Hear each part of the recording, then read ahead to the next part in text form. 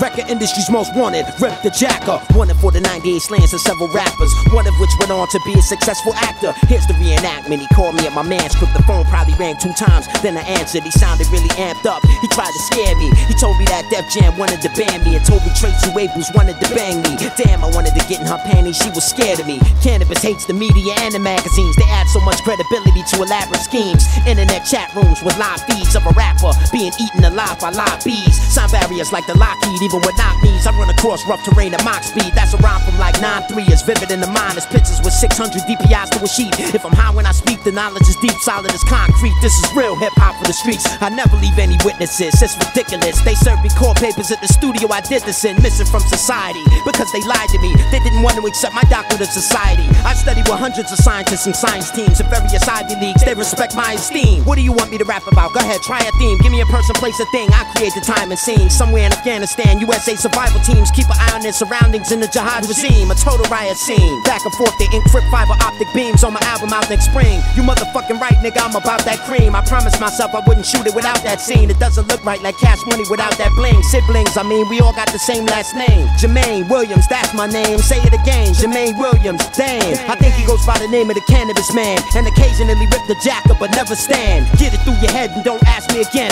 Box cutter blade runner, nigga, press use sweat. only. Have you ever Baby read a Grand book called The Records. Catcher in the Rye? It so happens I'm looking for a copy I could buy. Canibus is coming for y'all round the outside, round the outside, round the outside. A lot of y'all shine, but y'all can't rhyme. And it's about time that I put y'all in line. Twist your mind with twisted rhymes. As weird as Michael Jackson snow from the side. Flows that are the quite over the times. No need to hide. Your friends are associates of mine. Don't be a stranger, come over sometime. I got coke if you do lines. You get a rover to drive. If you hear the engine knocking, just pull over to the side. I guess it hasn't been serviced in all this time. Halloween, true Hollywood stories release date. We should have a Who Wants to Battle Canibus sweepstakes. Unlimited to three states. New York City, home of the greats. Philly and out west, piece of cake. Old school rappers I wouldn't be around without. Ain't got shit to say, but keep putting albums out. Don't let what I said get you upset. Box cutter blade runner, nigga, rap till you sweat.